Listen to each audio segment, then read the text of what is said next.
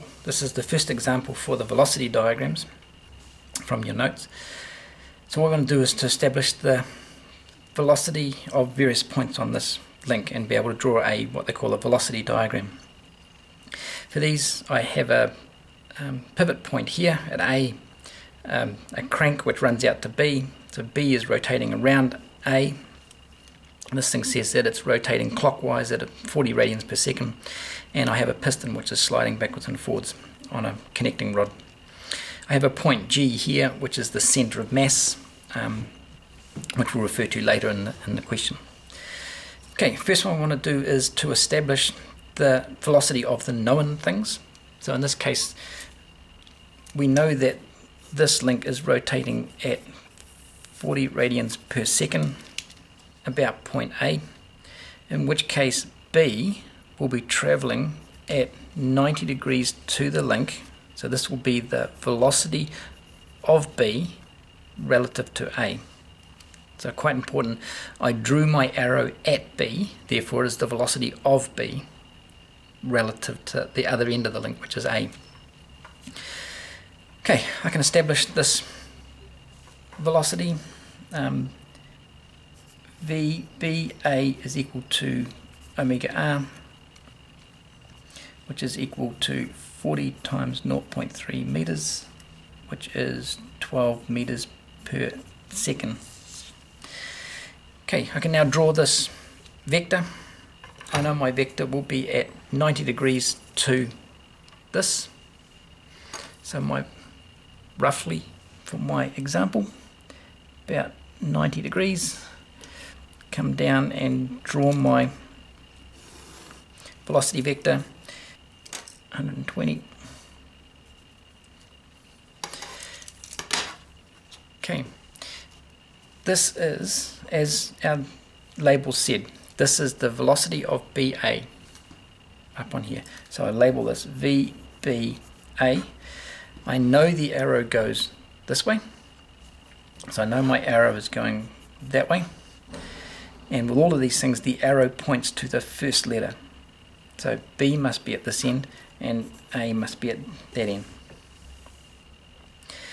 Okay, I now know point A which is my fixed point. So I'm starting from there. I have established point B. The next one I need to establish is point C. Everything on a linkage system must be joined to two independent parts. So in this case, C is connected to B, and C is also held by these slides. Now these slides are stationary. A is a stationary point, so I can label any point down here as also a because they all have the same velocity, they are all stationary.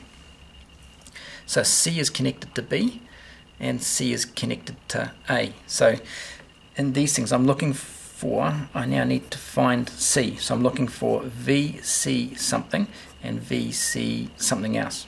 So we said C is joined to B and C is constrained by A as well. So I'm looking for VCB and VCA. CB. CB is a link.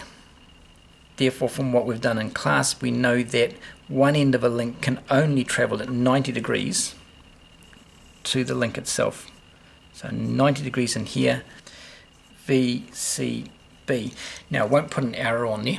I may be able to guess which way it's going, but I'm not even going to try. At 90 degrees to there. I also need VCA. VCA, C relative to A. These are, it's not a link. C can only travel backwards and forwards along the slider. So VCA must be a horizontal line. VCA. Again, I drew my velocity at C, so therefore it's VC relative to something.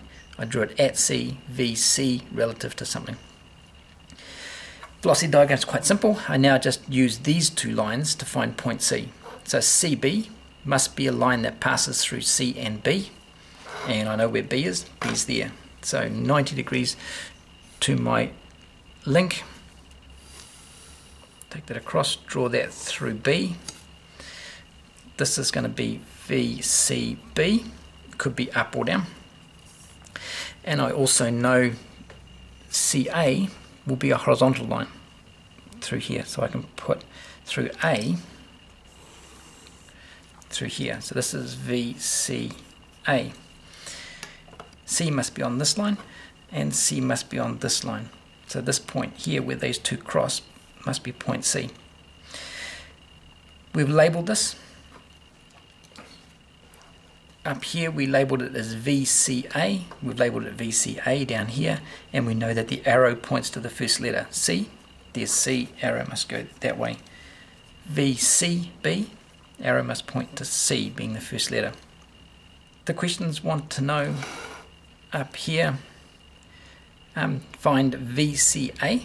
They want to know the velocity of the piston. VCA is this one in here, 12.7 on my little sketch. I think it's about 12.2 if I did my sketch a bit better. 12.7, I think my notes actually say 12.2 because I did it a bit neater. We also want to know omega BC, so the rotational speed of BC. So omega BC will be equal to V over R. So it'll be VBC over radius BC. VBC, measure that. This one comes out at 6.35. So omega BC will be equal to VBC 6.35 over radius BC. BC is 900 millimeters long over 0.9 giving me 7.06 radians per second. Okay, and which way is it going? Up here, here I've got a vector, we're talking about um, link BC. BC is here. I have got here VCB going downwards. VCB was this one, VCB drawn at C. That arrow here is downwards, so this arrow here will be downwards, which means that this link will be rotating that way about B. So this link will be rotating omega that way. So whether that's CB or BC doesn't actually matter. It's still rotating in an anti-clockwise direction. Okay, and the last one they want to know is the velocity of GA. G on this is the center of mass. We need that to do inertia forces with. Quite simply, G is one third of the way between BC. So simply on these diagrams here, that's going to make this point one third of the way between there. So take that, measure it, mark it, and point G will be one third of the way between BC, closest to B, closest to B. What the question is asking for is what is VG relative to a stationary point. So I'm looking for GA. GA will be going in through this way.